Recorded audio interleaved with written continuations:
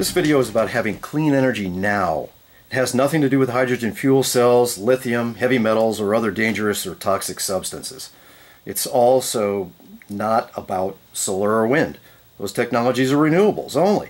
They're dependent on uh, specific environmental conditions. The power cell plates under uh, this motor and this motor as well are a clean energy source. They do not need to be charged. They won't burn, freeze, explode, or crack open. Although these are partially electrochemical, they have an extremely long lifespan and they're non-toxic, which are both not similar to common batteries. They're also not like the old limited copper zinc, the you know the salt-based hobby batteries. Everybody's seen those for years and years, I'm sure. These provide a great amount of surface area and they're made of heavy plates that'll absolutely last for decades.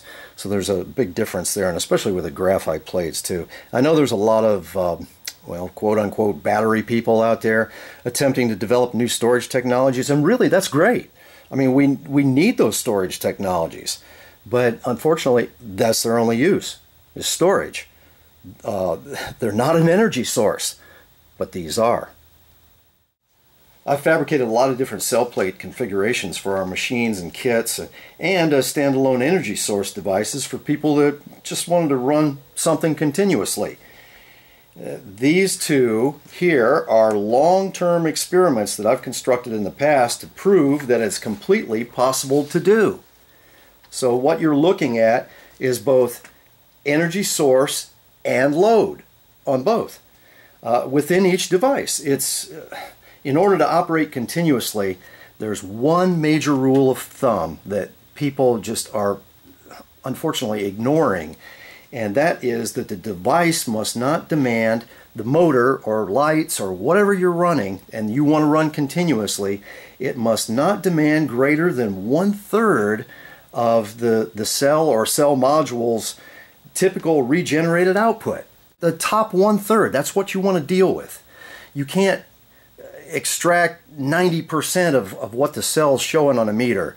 If you do, it's just going to decline and decline and decline. If you stay within that top one third or, or even smaller, like one quarter, but one third is the safe zone. If you stay within that, it will run continuously. Uh, it, it's best really when the uh, cells pr produce just you know slightly more output than that one third factor that's required. But uh, it, that way it causes you the need to reduce the input to the device and then it's like this guaranteed insurance that the thing is just going to run and run and run. Uh, this little dual coil motor here is now into its fourth year of continuous 24-7 operation without any servicing or adjustment or slowing down. I have I set this uh, potentiometer, it's a 100k ohm potentiometer, I set it once and I haven't touched it since and this has never slowed down. It's just the same, and like I said, it's into its fourth year of uh, continuous operation 24/7. The six-inch, the single six-inch square cell plate running this motor is part of of version one of the initial experimental cells. I had to use the the variable resistor to reduce the current. It was just, you know, it could have ran on maybe a quarter of that size or half that size as far as the plates.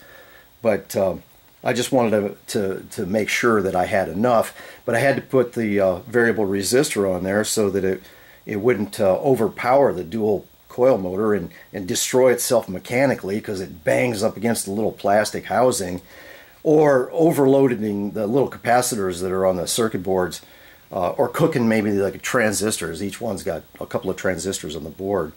So the larger experiment here uses actually uses two 12-inch square cell plates that are connected in series. And that's kind of as an overkill amount of energy source. I really could have done it with a single plate. It probably would work fine. But I wanted to make sure that it would keep running for at least two or three decades or longer. I, I just don't know at this point. Or until the, the coil units wear out or maybe even the there's a ball bearing on this little shaft. It's no little pinwheel thing. It's you know you can you can lift this you can move it around. I'm just I'm just showing you there's nothing nothing under it either. I put a, a, uh, a 10k ohm variable resistor on this one here and because of the the dual plates I need to cut down the power even though there's eight circuit boards to power and eight coils to power and then the friction of the shaft. So that's a nice little load here. So you've got a source and a load combined into one. So, uh, and this one's running, uh, I think the last time I measured is about 100, and, 100 or 110 RPM, something like that. And it seems to be a nice sweet spot for the variable resistor, so I just leave it at that. But here's the question. If one square foot cell can run this motor continuously for many years, what do you think a hundred times that might be able to do? Let's have a look.